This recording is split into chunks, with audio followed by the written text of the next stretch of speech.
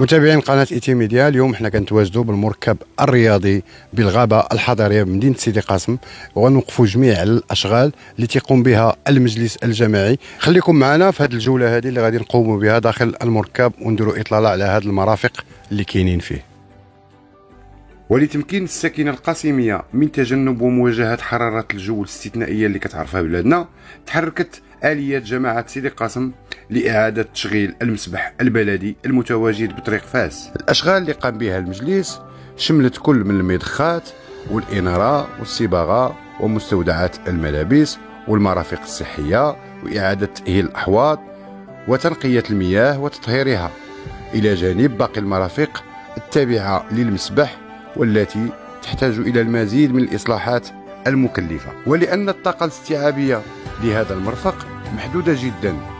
سارع رئيس المجلس الجماعي ديال مدينة سيدي قاسم إلى تأهيل المرفق اللي في الغابة الحضارية باش يكون موجود في الأسابيع المقبلة. لا أخفي عليكم سرا متابعين الكرام عن الحالة المزرية التي أضحى عليها هذا المركب ودرجة الخراب التي حلت بكل التجهيزات والبنيات التحتية من مرافق رياضية وغيرها.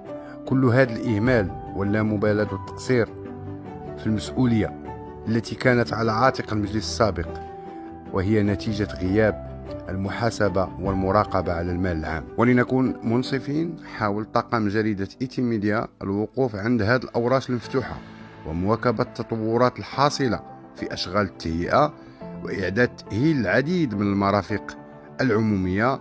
هذا ليس تطبيلا ولا تأهيلا ولكن ليس بإنكار لحقائق توثقها عدسة كاميرتنا وتنقلها كتقارير موضوعية تجعل المتتبع القاسمي والمتتبع للشأن العام على بنية من أمره.